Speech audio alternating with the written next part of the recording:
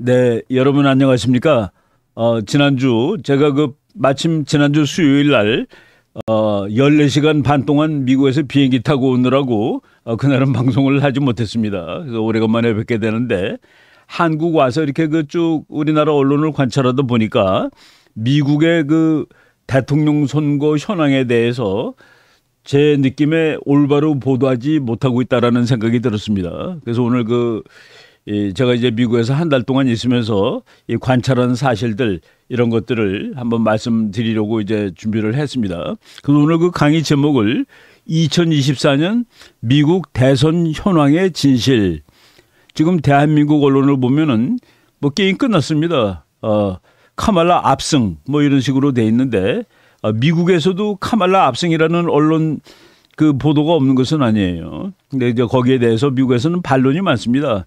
그리고 중립을 그러니까 균형을 유지하는데 우리는 그렇지 못하다라는 생각이 들었습니다. 그 내가 그 썸네일 맨 앞페이지에 그 라스무센 리포트 여러분들이 만약 미국 여론조사 하나를 본다 그러면 라스무센 리포트를 보시면 됩니다. 그 라스무센 리포트라는 그 여론 조사만 전문으로 하는 기관이 어, 자기네들도 보다 너무하다라는 생각이 들었던 것 같아요. 그래서 8월 16일 날 어, 따로 거기 그 직접 이제 여론조사 하는 그 관리가 전문가가 나와가지고 이 방송을 하고 이 썸네일을 저렇게 올렸습니다. Don't believe it. 믿지 마세요. 트럼프 is winning. 트럼프가 이기고 있답니다. 여러분들도 저 보면은 좀 놀랍죠? Don't believe it. 믿지 마세요. 트럼프 is winning. 트럼프가 이기고 있습니다. 아, 요 주제를 말씀드리겠습니다. 이 한국 언론 보도하고 제가 미국에서 이제 관찰한 거랑 너무나 다르다. 아, 좀 놀랍다. 카말라 월츠, 월츠라는 사람이 이제 부통령 후보가 됐죠. 용비어 청갑니다. 어, 어떻게 그 월츠라는 사람은 아무도 모르던 사람입니다. 아, 미네소타 외에는 미국에서 누구도 몰라요. 카말라는 뭐 부통령이니까 많이들 아는데 어, 용비어천가 아주 뭐 끝내주는 후보가 나왔다라고 지금 얘기하고 있죠. 그리고 트럼프 밴스에 대해서 그 너무 비하가 많습니다. 그 진실에 기반을 두고 있지 않은 것 같다. 그리고 wishful thinking 우리나라는 보니까 좌나 우나 전부 트럼프가 되면 큰일 난다라고 알고 있어요. 미국의 좌파 주류 언론 우리가 보통 MSM이라고 그럽니다. mainstream media라고 하는데 거기서 나오는 보도를 거의 번역 소개하는 것 같다. 어, 미국에서도 지금 거기에 대해서 그 warning하는 그 이, 그런 내용들이 많습니다. Harris erases Trump's lead 월스트리트 저널 WSJ 거기서 해리스가 트럼프의 리드를 다 지워버렸다. 이제 이제 나오자마자 맞먹는다 이런 소리죠. 뭐 이런 식으로 어, 이 잘못된 언론들이 많은데 어느 부분에서 어떻게 잘못됐는지 논리적으로 어떻게 설명할 수 있는지 이제 보겠습니다. 여러분 같은 잡지인데 어, 카말라 해리스가 이제 민주당 후보로 되었다. 이거 8월 26일자니까 이제 다음 주일 겁니다. 근데 미리 나온 거예요. 어, 허 모먼트. 아주 참 우아하게 그림을 그렸습니다. 옆에 있는 트럼프가 이렇게 저 엉망진창으로 되어 있는 것은 트럼프가 2016년 대통령 후보로 됐을 때 그때 나온 겁니다. 그러니까 공화당 후보는 저렇게 그 악의적으로 묘사를 하고 그리고 민주당 후보는 저렇게 그 아주 좋게 카말라 해리스가 저런 이미지가 아닙니다. 아, 근데 이렇게 언론이 얼마나 그리고 똑같은 얘기를 했어도 트럼프가 하면은 틀린 말이고 카말라가 하면은 맞는 말이에요. 예를 들어서 한 달 전에 어 네바다 네바다가 이제 라스베가스 있는 데고 도박 산업이 많은 데죠. 거기 서비스맨들이 많습니다. 서비스 워먼도 많고 그 사람들이 팁을 받고 사는데 팁에다가는 세금을 붙이지 않겠다. 얼마나 그 미국 언론들이 트럼프를 야단했는지 모릅니다. 그런데 바로 며칠 전에 카말라 해리스가 똑같은 얘기 했을 땐, 어, 그건 너무 좋은 거라고 또 아주 찬성을 하는 거예요. 그래서 이제 초등학생들조차도 미국 언론이 어, 일방적으로 한 사람을 지지한다라는 걸 알게 됐습니다. 카말라 해리스를 캐릭터를 그리면은 이 그림이 나와야 됩니다. 저 사람은 왜 이렇게 우는지 알 수가 없는데 우리나라 기자들이 저 사람이 웃기 전에 하는 말을 직접 이해를 못해서 그런 것 같다는 생각이 들어요. 카말레리스는 말하다가 생각이 안 나거나 그럼 그냥 웃어버립니다. 아, 그 미국에서 저렇게 나오죠. 미안합니다, 미안해요. 지금 나는 말하고 있는 중이에요. 저렇게 웃고 있는. 아, 그래서 저거를 캐클링, Laughing crazy Kamala. 미국에서는 이런 식으로 얘기합니다. 근데 우리나라에서는 호쾌한 웃음 이렇게 아주 참 잘못 해석하더라고요. 저 사람은 호쾌한 웃음을 짓는 게 아니라 하다가 모를 때 그냥 껄껄거리고 웃어버리고 많은 카말라 해리스가 갑자기 신데렐라가 됐는데 보겠습니다. 이건 작년 거예요. NBC가 말이죠.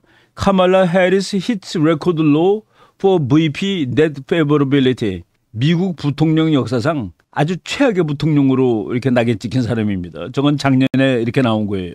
49%가 네가티브. 이건 뭐 부통령이 이 모양이야. 32%가 괜찮다. 카말라 해리스가 7월 21일 날 이제 대통령 후보로 올라서죠. 한 달 됐습니다. 근데 올라서는 그날까지 미국 역사상 최악의 비호감 부통령이었다.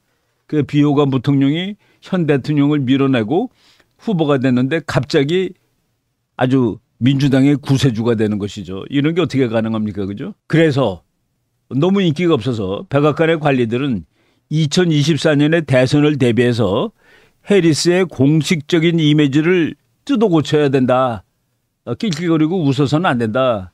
그리고 그녀의 형편없는 폴 넘버를 보강하기 위해서 노력하고 있다라고 그 엑시오스라는 저건 완전히 민주당 또 여론조사 기관입니다. 거기에 알렉스 톰슨이 보도한 바 있었다. 이것이 작년 6월 달 얘기예요. 여기서 보세요. 새로 나온 그 여론조사를 보니까 어, 카말라 해리스가 너무 문제가 많아. 그래서 대통령의 자격이 없어요. 대통령이 안 될 것 같아. 그래서 금년 6월 달입니다. 그러니까 카말라가 후보가 되기 딱한 달 전이에요. 그때 바이든이 이제 너무 늙었고 이 사람은 앞으로 물러나야 될 텐데 그러면 제1주자가 카말라 해리스인데 카말라 해리스는 스스로 능력으로 대통령직을 거머쥘 수 있을 것인가 그리고 대통령직을 물려받을 경우 그 직책을 감당할 수 있을지 심각한 의문에 당면하고 있다.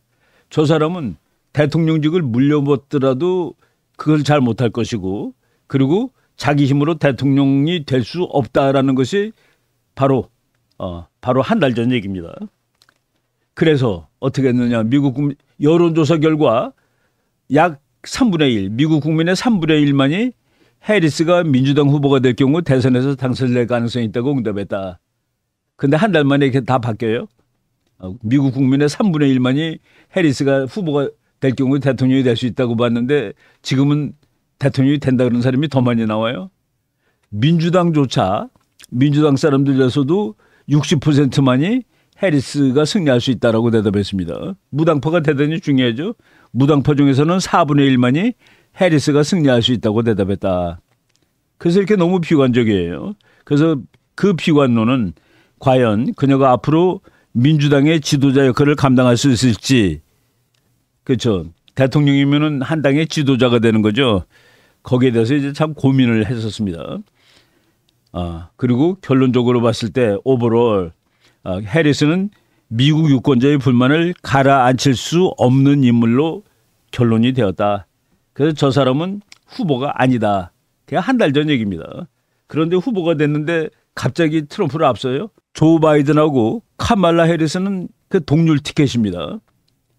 지금 자꾸 헷갈리는데 카말라 해리스가 뭐라고 그러냐면은 내가 대통령이 당선되면 day one 첫날 이렇게 하겠다.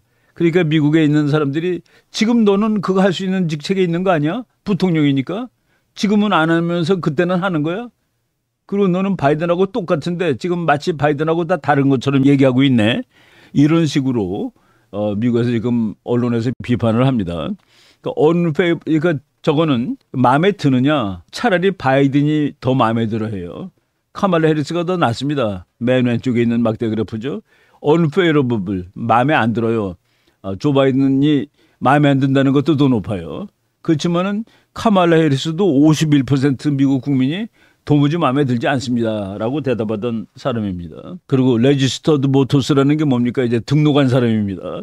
저 사람들이 가서 이제 투표를 하는데 해리스가 대통령 선거에서 이길 것 같아요? 라는 질문에 대해서 미국 국민의 34%는 이길 수 있다. 57%는 못 이긴다라고 대답했습니다. 민주당원 중에서도 59%가 뭐 이길 수 있을 것 같아요. 31%는 못 이긴다. 공화당에서는 해리스가 이길 가능성은 13%, 질 가능성 81%. 그리고 결정적인 유권자인 어, independents, 그러니까 이제 이 사람들은 민주당 공화당이 아닌 사람들이죠. 어, 해리스가 될 것 같다가 25, 4분의 1, 그리고 안 될 것이다가 62%. 그것이 2024년 5월 말 그것도 미국 여론조사 지금 1000명도 안 합니다. 근데 이거는 거의 4000명을 대상으로 한 조사에서 저렇게 나왔다. 이 데이터로 우리가 알고 있는 한 지금 나온 모든 여론조사는 가짜다라고 그냥 알 수 있는 것이죠. 이것이 지금 제가 말씀드리는 이것은 가짜일 수가 없습니다. 이 사람이 후보가 되기 전이고 그냥 미국 사람들이 중립적으로 평가할 수 있는 그때 한 거기 때문에 또 보겠습니다. 카말라 해리스는 훌륭한 대통령이 될 수 있을까? 물려받을 경우에 미국 국민 중에서 그렇다가 40% 훌륭한 대통령 될 수 없답니다. 아니다가 51. 그리고 민주당 사람 중에서는 74%뭐 같은 당이니까 그리고 16%는 훌륭한 대통령이 될 수 없다. 공화당 봅시다. 공화당 사람 중에서는 8% 정도가 뭐 잘하겠지. 88%는 아니고 그리고 독립 independent 무당파 34%만이 대통령을 잘할 수 있다. 51%는 아니다라고 대답을 했습니다. 그래서 이 사람은 아예 후보가 아니다가 한 달 전 얘기입니다. 바이든이 물러날지라도 카말라 해리스는 안 된다. 근데 이제 카말라 해리스가 됐죠. 금년 6월 초순까지도 과연 해리스가 러닝메이트로 이거는 뭐냐면은 바이든이 계속 후보로 있을 때를 상정한 거예요. 바이든이 후보일 때 해리스를 계속 부통령으로 끌고 가야 되느냐까지도 의문이 있었다. 그래서 미국 국민의 36%는 부통령을 다른 사람으로 바꾸는 게 더 좋지 않아? 까지 얘기했습니다. 어, 카말라 해리스가 아니라 다른 민주당원이 부통령이 됐으면 좋겠다. 36% 그리고 39%는 뭐 그냥 놔둬야지.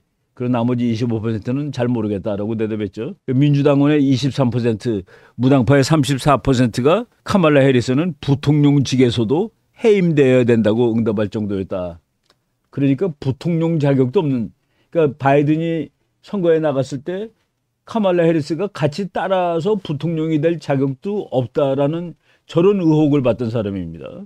그런데 딱 후보가 되자마자 트럼프를 이긴다? 아, 그게 논리적으로 설명이 됩니까? 오바마가 가장 막강한 사람 중에 하나죠, 민주당에서. 아, 오바마가 뭐라고 그랬습니까? 오바마가 뭐라고 그랬어요?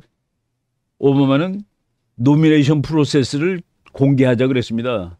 아니, 바이든이 얻은 표 4천만 표를 단 한 표도 얻은 적이 없는 카말라 해리스가 가지는 게 말이 돼? 그러니까 공개해서 다시 하자고 라고 오바마가 주장을 한 거예요. 여러분 혹시 기억나시는지 모르지만은 한 두 달 전 여론조사에서 미국 민주당 누구도 트럼프를 이길 수 없다. 다만 오바마의 부인인 미셸 오바마만이 이길 수 있다. 근데 여론조사 결과 지금 기억하실지 모르겠지만은 어, 미셸 오바마하고 트럼프랑 같이 붙으면 미셸 오바마가 50%가 넘고 그리고 트럼프는 30%대였습니다. 말도 안 되는 얘기죠. 만드는 겁니다. 근데 저 사람은 자기 부인을 대통령 만들고 싶어 했는지 모르니까 지지하지 않고 있다가 한 일주일 후에 어, 그 카말라를 지지한다고 얘기는 했었죠. 가장 중요한 이유를 미국 그 여러 방송이라든가 글을 보니까 돈을 그래도 선거하기 위해서 2억 불 정도 모아뒀는데 그 돈을 그 합법적으로 쓸 수 있는 사람은 카말라 해리스밖에 없었답니다. 다른 사람이 되면은 돈을 다시 모아야 되는 모양이에요. 그래서 어쩔 수 없이 카말라 해리스를 이제 후보로 앉혔고 그리고 미국의 모든 언론 트럼프가 되면 큰일 나니까 그런 모든 언론들은 힘을 다하여 카말라 해리스를 이제 띄우기 시작하였다.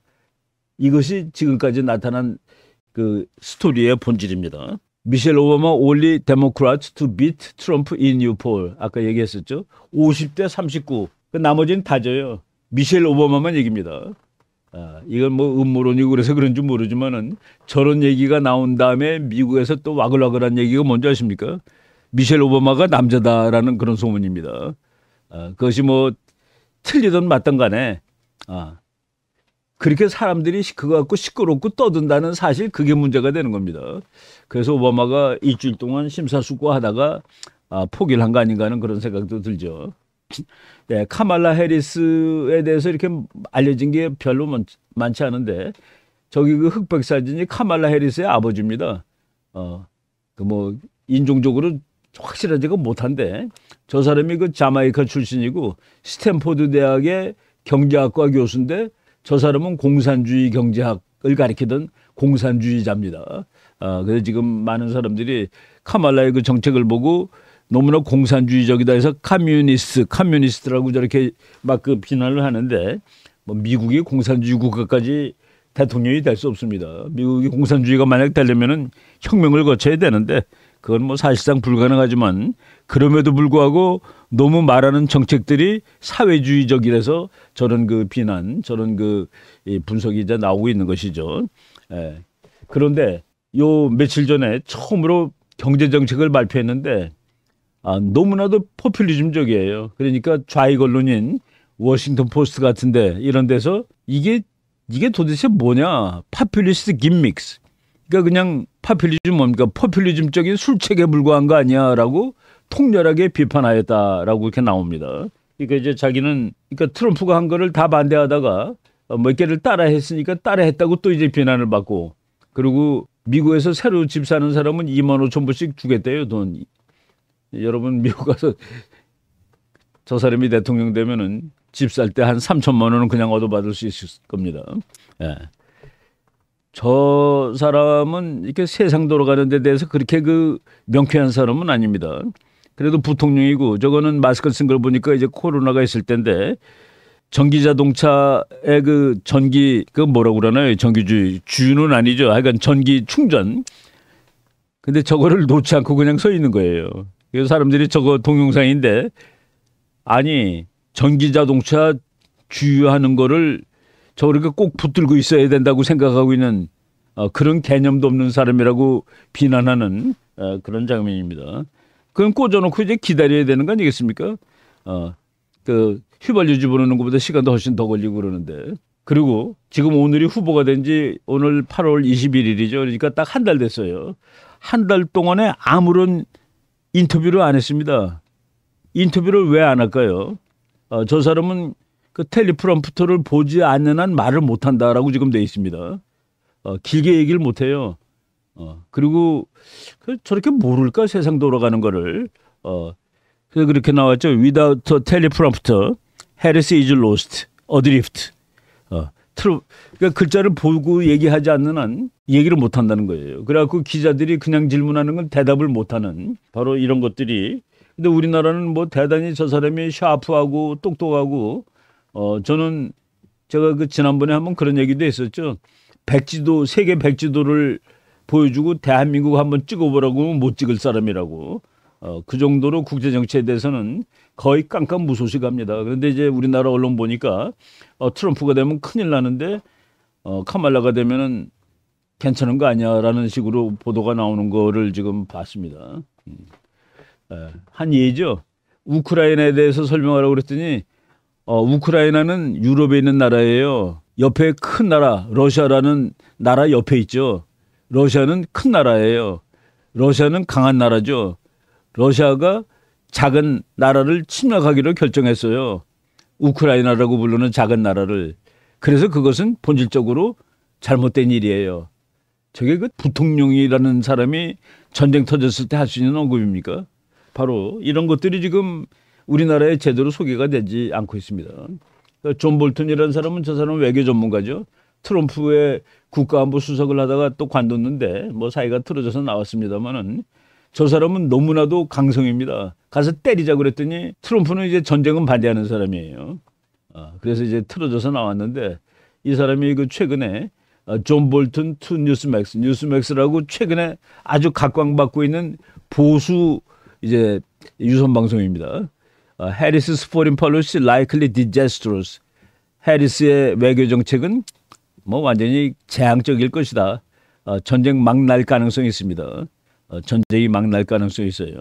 제가 미국에서 그 휴스턴에는 교포들한테 이제 강의를 해주는데 왜 트럼프가 대통령 되는 것을 좋아하는 거예요?라고 나한테 물어보길래 그 예, 거기 는 어르신들이 그래서 내가 앞으로 우리나라가 이제 통일을 일으켜야 될 상황이 오는데 한국 사람들이 제일 그 불편해하고 두려워하는 것이 북한이 붕괴됐을 때 중국군이 개입할 가능성이다. 그런데 미국의 대통령이 해리스가 대통령으로 있을 때하고 트럼프가 대통령이 있을 때 대통령으로 있을 때 중국이 북한에 들어올 확률이 누가 언제가 더 높겠냐? 예, 당연히 바이든이나 해리스가 있을 때 중국은 그냥 밀고 들어올 겁니다. 예, 근데 트럼프가 있으면은 그렇게 그 용감하게 들어올 것 같지 않아요. 그래서 나는 그런 상황에서 우리한테는 트럼프가 더 유리할 것 같아요라고 이제 예, 설명을 해드린 적이 있었습니다. 이거는 그냥 낭설인지 아직 확진은 안 됐는데 저 사람이 이렇게 대답을 잘 못하고 그러는 것은 모르기도 하지만은 술에 쩔어서 그렇다라는 그런 얘기가 있어요. Trump campaign post about Kamala Harris serious. 그러니까 트럼프 캠페인에서 이미 그 글을 올렸는데 아주 심각한 알코올 중독 그런 문제가 있다라는 이건 뭐 두고 봐야 될 겁니다. 하여간 이런 얘기조차 나오고 있어요. 그리고 브라이바트 저건 뭐 그냥 그 꽤 그 그래도 품위가 있는 그런 그 언론기관입니다. 데모크라츠 베그 카말라 해리스 to release policy agenda before election. 저 사람의 정책 아젠다는 국민들이 알면 안 돼요. 아, 국민들이 알면 안 되기 때문에 어, 투표하는 날까지 정책 아젠다는 발표하지 않을 것을 권유한다. 그런 얘기죠. 근데 그런 선거가 어디 있습니까? 나가 대통령 되면은 이렇게 할 거요. 라고 얘기를 해야 되는데 저 사람은 지금 미국 사람들이 제일 중요하게 생각하는 것이 경제 문제, 에너지 문제입니다. 근데 석유 안 파겠다는 거예요. 미국은 석유가 무지하게 많은 나라죠. 그 쉐일 석유. 그거 절대로 안 된다는 사람입니다. 그리고 두 아주 또 중요한 문제가 immigration. 그, 그 멕시코로 지금 천만 명 들어왔다는데 그 사람들이 미국에 들어오면 왜 나쁘냐라고 질문하는 사람입니다. 그래서 이슈로 봤을 때 도무지 어 미국 국민들 대부분이 그러니까 immigration 즉 이민 문제 그리고 경제 문제 에너지 문제에서 압도적으로 트럼프를 지지합니다. 어. 그런데 여론조사에서 카말라가 앞선다? 이런 게 어떻게 가능하죠? 예. 예. 지금 카말라가 대통령 후보가 된 다음에 처음으로 big decision 큰 결정을 하나 했습니다. 예. 부통령 후보를 뽑았는데 나는 솔직히 어, 이 사람을 뽑다냐고 놀랐습니다.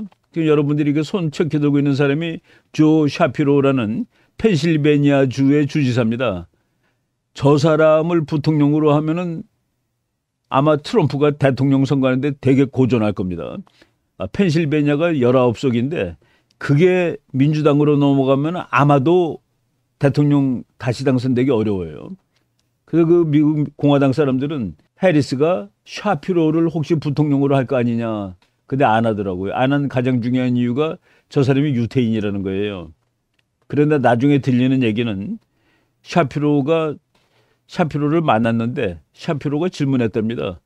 부통령의 역할은 뭐냐? 내가 무슨 걸 할 수 있느냐? 어, 그래서 저 사람을 찍겠어요. 그 옆에 나온 사람이 마크 켈리라는 사람인데 마크 켈리는 오바마가 민 사람이고 저 사람은 카말라 해리스가 무지하게 좌파적인데 그것을 완전히 보완해 줄 수 있는 사람입니다.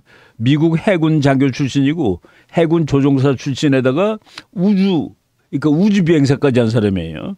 그러니까 지금 아리조나주 상원의원인데 저 사람을 갖다 뽑으면은 트럼프 표를 상당히 갉아먹을 수 있는 그런 사람인데 저 사람도 지금 빠졌습니다. 그리고 후보가 한 아홉 명쯤 됐는데 거기에 들어가지 않던 미네소타 주지사 팀 월츠를 갖다 놨는데 우리나라에서는 저 사람이 아주 엄청나게 훌륭한 이웃집 아저씨, 훌륭한 아저씨라고 돼 있는데 미국에서는 사기꾼으로 돼 있습니다. 사기꾼으로 돼 있는데 트럼프가 그 월즈를 부통령 후보로 했을 때 아 흥분된다라고 얘기했습니다. 트럼프 says he's thrilled with Tim Walz as Harris VP pick. 어, 저 사람을 부통령으로 뽑다니 아 내가 이제 게임에 이겼어 라고 생각하는 거죠. 그러면 우리나라에서는 아주 이웃집 착한 아저씨라는 팀 월즈가 뭐가 문제가 있는 사람인지 한번 보겠습니다. 팀 월즈가 저 사람이 아주 그 울트라 리버럴인데 미국에서 코로나 바이러스로 한 2년 헤맬 때 제일 최악의 주가 미네소타 주였습니다. 어느 정도까지 저 사람이 그 문제를 삼았냐면은 집에서 마스크 안 꼈다라고 체포하겠다고 그러고 할 정도예요. 집에서도 마스크를 끼지 않으면 안 된다. 그래서 가장 강력하게 셧다운 돼 가지고 어 그냥 개인 사업이 가장 많이 망했습니다. 그 주가 미네소타 주인데 저 사람이 뭐 선한 이웃이 아니라 가장 그 그래서 COVID tyrant라고 그러죠. COVID의 전제군주 라고 얘기를 하는데 그거보다 지금 미국 사람들한테 제일 문제는 저 사람이 군대 경력을 속였다는 겁니다. 여러분 그 미국 군인들 보면 옆에다가 아주 큰 저게 이제 하사관계급장인데 가운데 이제 별 있고 월계관이 있는 거가 뭐 저는 한국말로 번역이 어떻게 될지 모르겠습니다. Command Sergeant Major 그 왼쪽에 있는 거예요. 그리고 하나가 Master Sergeant 그게 이제 오른쪽에 있는 건데 팀 월츠가 Master Sergeant 출신입니다. 그런데 계속 자기가 Command Sergeant Major 한 두세 계급 더 높은 거예요. 그거라고 얘기를 하고 다니는 거예요. 어, 그리고 요번에 컨벤션이 지금 그 민주당 전당대회가 지금 있죠. 민주당 전당대회에서도 계급을 원래 계급을 얘기하지 않고 지금 다른 더 높은 계급 Command Sergeant Major라고 또 얘기를 하고 있다. 왜? 그래서 뭐 좀 보수적인 매체지만은 미국 민주당 전당대회는 makes Tim Walz's stolen valor concerns even worse stolen valor stolen valor는 것은 그 명예를 훔쳐갔다는 뜻입니다. 그것을 더 나쁘게 하고 있다. 어, 계급을 틀리게 말하는 거가 명예를 훔쳐간 거에 크게 일부분이고 더 큰 거가 이제 여기 나옵니다.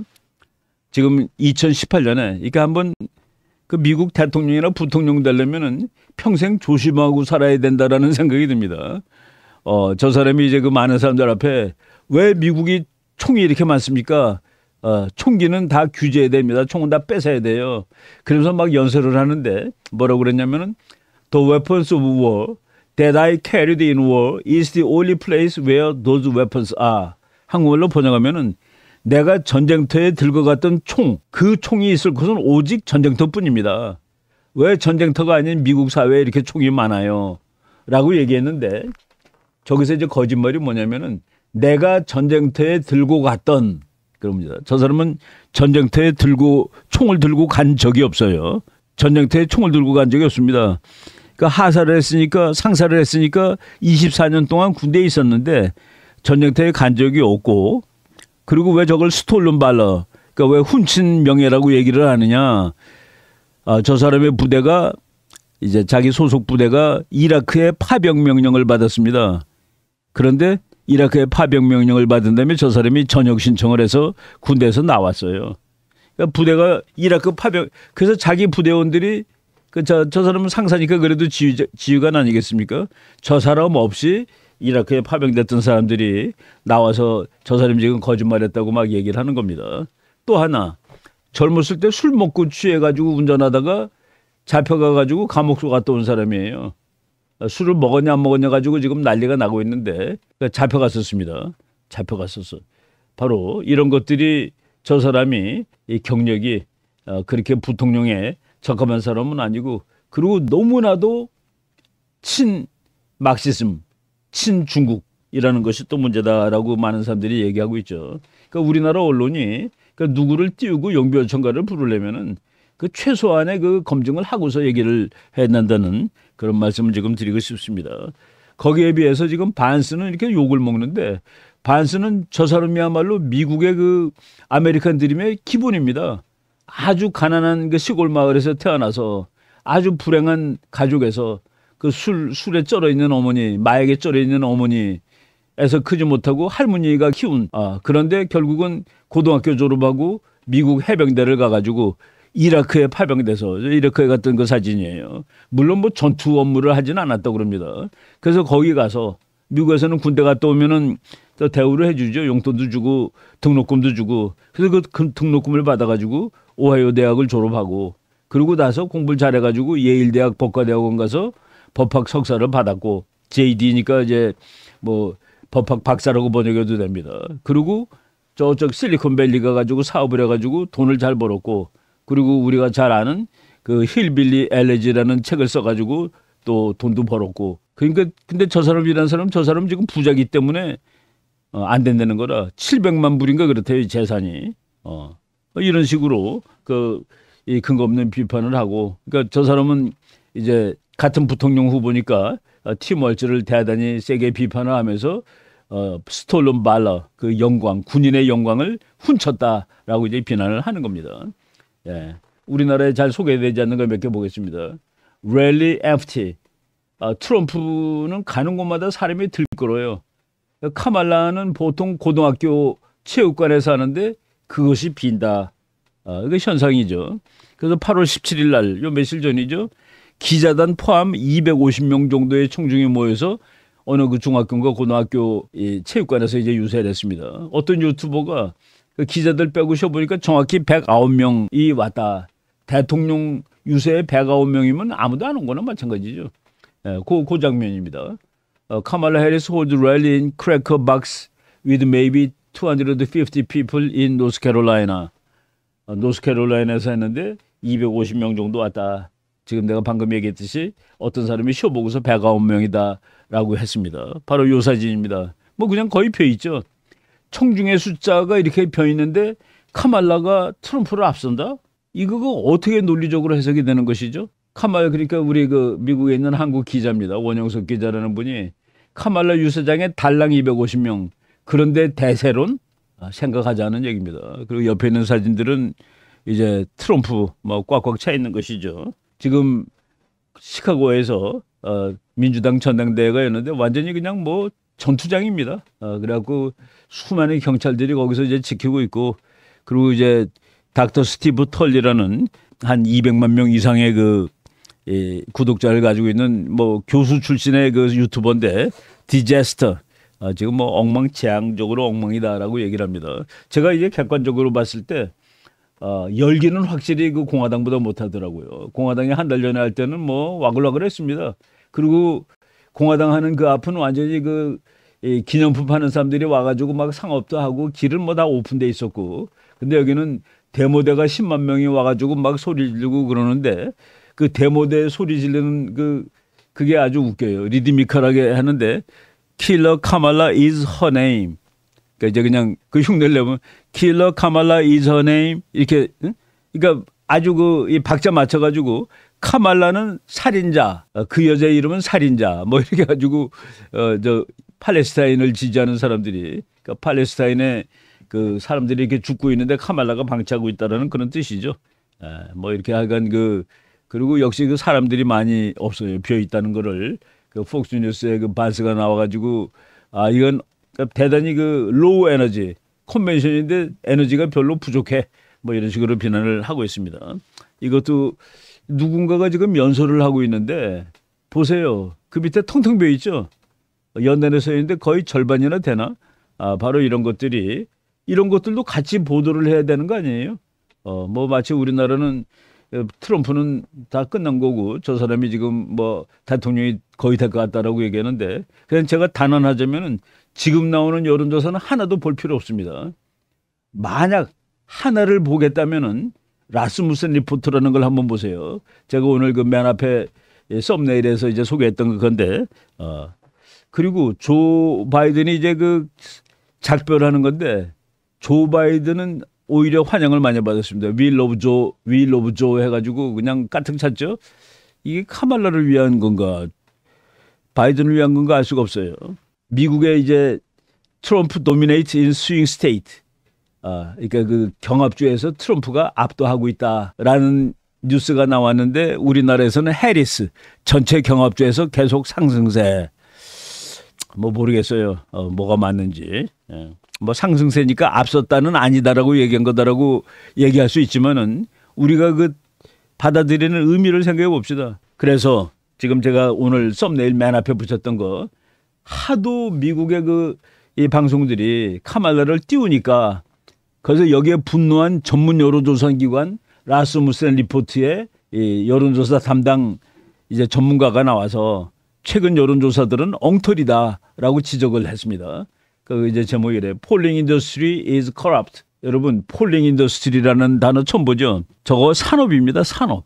여론조사 산업이에요. 어, 메뚜기도 한철이라고 2024년 지금 돈 안 벌면 안 됩니다.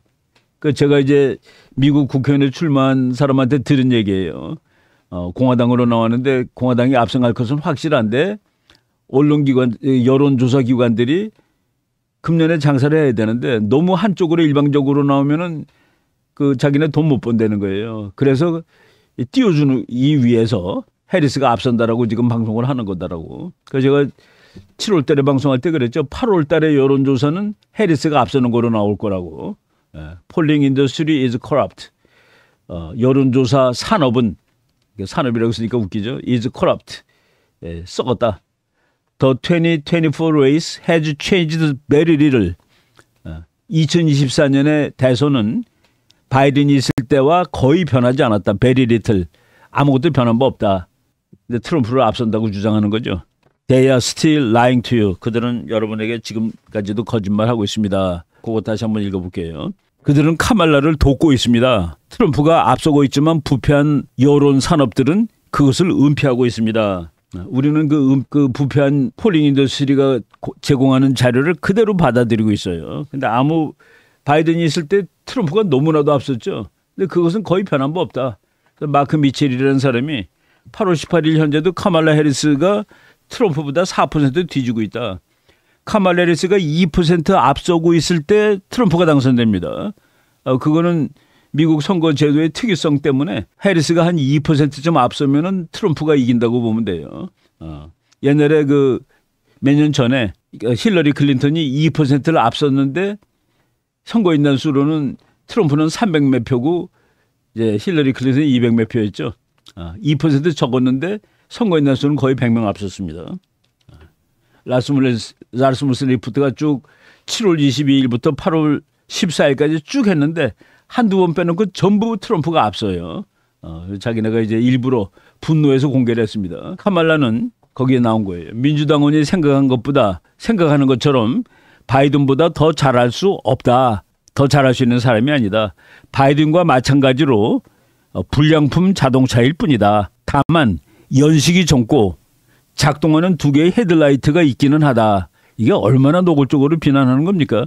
바이든이나 카마나는 똑같은데 아, 둘 다 불량품인데 연식이 좀 젊대요. 뭐 한 사람은 60세고 한 사람은 80세니까. 아, 그리고 두 개의 작동하는 헤드라이트가 있기는 하다.